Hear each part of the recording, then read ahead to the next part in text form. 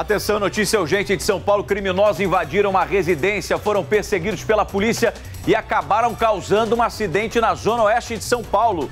Eles ainda trocaram tiros com os policiais. Fernanda Trigueiro vai trazer todos os detalhes ao vivo agora para o telespectador do primeiro impacto. Como é que terminou essa confusão aí, Ofê? Bom dia.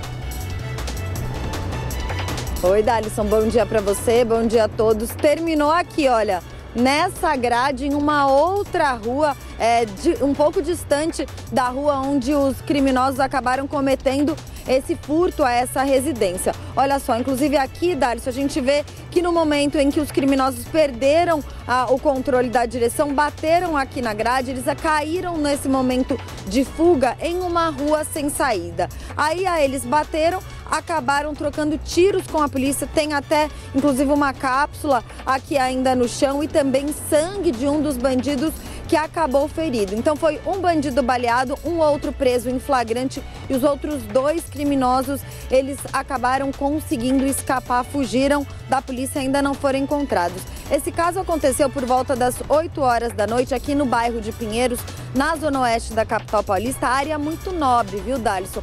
Ainda de acordo com as informações da polícia, esses bandidos invadiram uma casa que estava vazia. Eles tinham a informação que os moradores estavam viajando, então entraram na casa, uma casa de luxo, roubaram aí, de acordo com a polícia, muita joia, muitos eletrônicos e muito dinheiro que estava em espécie. Esse dinheiro real, dólar e euro. A polícia não sabe contabilizar quanto que esses criminosos conseguiram levar. Inclusive porque parte do que foi é, roubado também já foi recuperado pela polícia.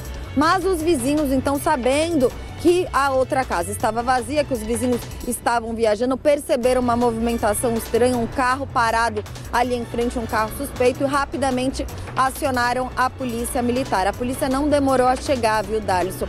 E aí começou, então, essa perseguição, os criminosos tentando fugir da polícia. Até que em um certo momento aqui no bairro, eles acabaram entrando nessa rua. É uma rua fechada, né? Uma rua fechada, só tem uma cancela ali na frente. O próprio segurança disse que viu, ouviu o barulho das viaturas, viu esse carro vindo em alta velocidade, ele não pensou duas vezes, abriu a cancela, mesmo aqui sendo uma área privada, uma rua particular, é um, uma rua onde acabou se formando um condomínio, porque ele disse que já imaginou que os criminosos não iam ter para onde correr, iam dar aqui de cara com essa grade, sabendo que as viaturas estavam ali atrás, eles não iam ter como fugir.